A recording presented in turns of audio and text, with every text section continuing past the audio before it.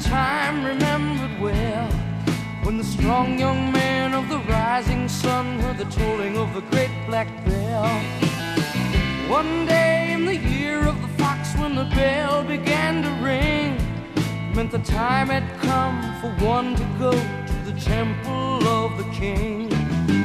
There in the middle of the circle One touch of his trembling hand, the answer will be found. Daylight waits while the old man sings, Heaven, help me. And then, like the rush of a thousand wings, it shines upon the one. And the day had just begun. Hola amigos, Mario Valerio les saluda. Quiero aprovechar este momento con todos ustedes, amigos, seguidores, este momento especial para nosotros, para, para su servidor, para mis amigos que me acompañan hoy.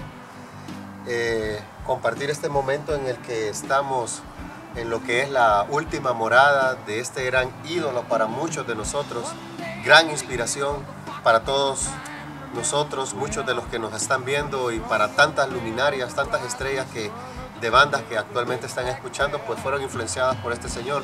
Ronnie James Dio falleció el pasado 16 de mayo del 2010, consecuencia de un cáncer.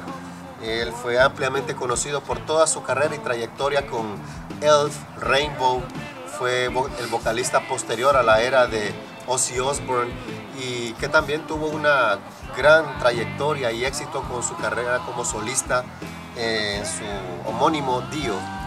Eh, estoy eh, emocionado y conmovido de poder compartir con ustedes la última morada de Dio, ya que eh, es, yo sé que es, es- difícil pues que, todos pudiéramos estar acá para poder tocarlo o sentir el, el ambiente y la nostalgia, que, atmósfera que se respira acá, pero es lo que queremos pues, que de alguna manera ustedes tengan la oportunidad de tener este momento de paz y quietud con, con Dio, así que espero que, que este video eh, les sirva pues por lo menos para quienes no le conocen, que investiguen sobre su legado y qué más, long live rock and roll, forever Dio.